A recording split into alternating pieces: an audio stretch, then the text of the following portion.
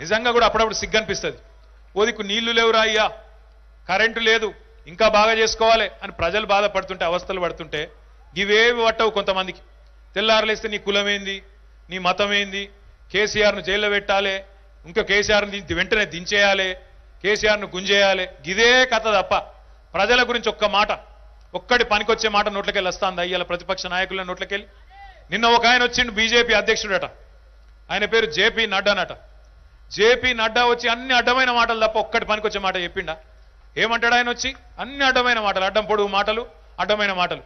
ఈ ఉప్పల్ ఫ్లైఓవర్ ఎందుకు గట్టుడు శాతనైతే లేదో చెప్పురాబాయ్ అంటే అది రాదు. అంబర్ ప్లేట్ ఫ్లైఓవర్ ఎందుకు అయితే లేదు కిషన్ రెడ్డి అంటే దాని గురించి మాట్లాడాడు. కానీ కేసీఆర్ను జైలుకు పంపుతాం. ఎందుకు పంపుతావు జైలుకు? పెళ్ళిడికి వచ్చిన ఆడపిల్లలకు ఒక మేనమామ లెక్క పన్నెండు లక్షల మంది ఆడపిల్లలకు వాళ్ళ తల్లిదండ్రులకు అండగా నిలబడి షాదీ ముబారక్ కళ్యాణ లక్ష్మి కార్యక్రమం పెట్టి పన్నెండు లక్షల కుటుంబాలను ఆదుకున్నందుకు పంపిస్తావా? జైలుకు ఎందుకు పంపుతావు? నేను రాను బిడ్డో సర్కారు దవాఖానకు అని పాటలు రాసుకున్న పరిస్థితి నుంచి ఇవాళ నేను సర్కారు దవాఖానకే పోతా.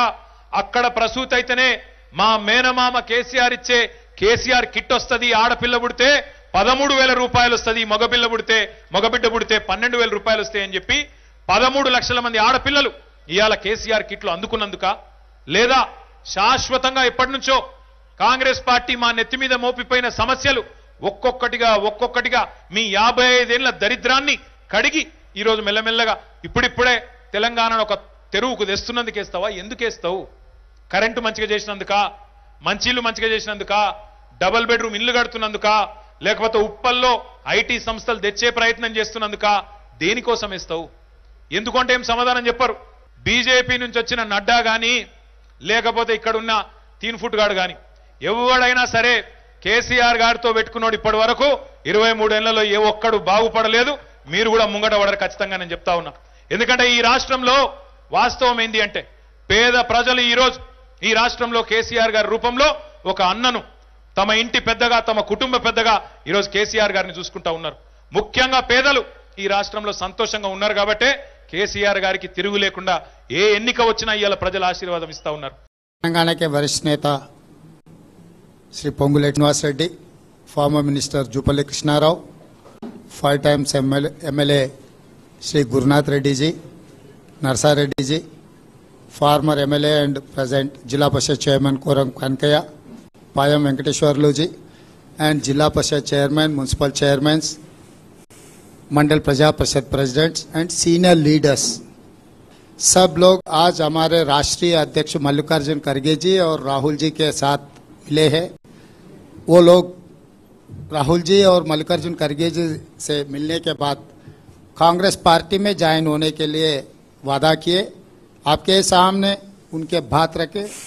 आगे हम लोग तेलंगाना में टीआरएस को हराने के लिए जिस तरीका से काम करना है, सब लोग मिलकर हम लोग काम करेंगे। और भारतीय जनता पार्टी टीआरएस साथ मिलकर कैसे चार करोड़ तेलंगाना जनता को कैसे धोखा दे के गया ये सब सारे हम लोग लोगों को दिखाना है। और पिछले तीन दिन से केटीआर आईटी मिनिस्टर दिल्ली आया था। वो ऐसा दिखा है कि हम तेलंगाना तरक्की के लिए, मेट्रो रेल के लिए, नेशनल इरिगेशन प्रोजेक्ट्स के लिए और कुछ प्रोजेक्ट्स के लिए हम रिप्रेजेंटेशन दिए, इसीलिए भारतीय जनता पार्टी से मिले। ये सरासर झूठा है, क्योंकि पटना में एंटी बीजेपी जो मीटिंग चल रही था पंद्रह पार्टियों का तो उसका साथ नहीं है। कुछ लोग बीजेपी के साथ है, ऐसा परसेप्शन क्रिएट करने के लिए लगातार टीआरएस कोशिश किए। पहले केसीआर ने किया, अभी केटीआर ने कोशिश कर रहा है। तो लोग पूरा समझ रहे हैं। इसीलिए हम लोग सब लोगों, जितने भी वरिष्ठ नेता भी कांग्रेस पार्टी में शामिल होने के लिए हमें वादा दिए, इन लोगों को मैं वेलकम कर रहा हूँ। और दूसरे जुलाई सेकंड को खम्मम में एक बड़ा जलसा होगा। वहाँ पर, वहीं से तेलंगाना के अगले चुनाव के भूमिका, वहाँ से आप लोगों को बोलेंगे।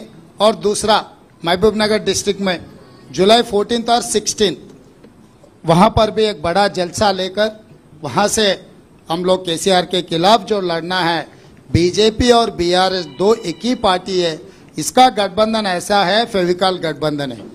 फेविकॉल से जोड़े तो जितना ताकत रहते हैं और बीजेपी, बीआरएस का भी उतना ही गठबंधन है। पिछले नौ साल ये लोग साथ में काम किए।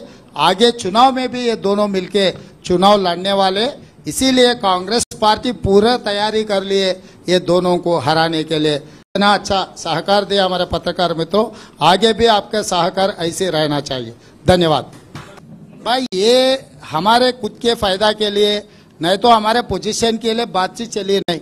चार करोड़ जनता जो उम्मीद किए थे, वो उम्मीदों को देकर, शहीद हुए बच्चों को देकर श्रीमती सोनिया गांधी जी ने तेलंगाना दिया हुआ है, वो उम्मीद को टीआरएस ने तोड़ दिए। इसीलिए वो उम्मीदों को पूरी करने के लिए कांग्रेस पार्टी कोशिश करेगा। आगे हमारा कार्याचरण भी होगा।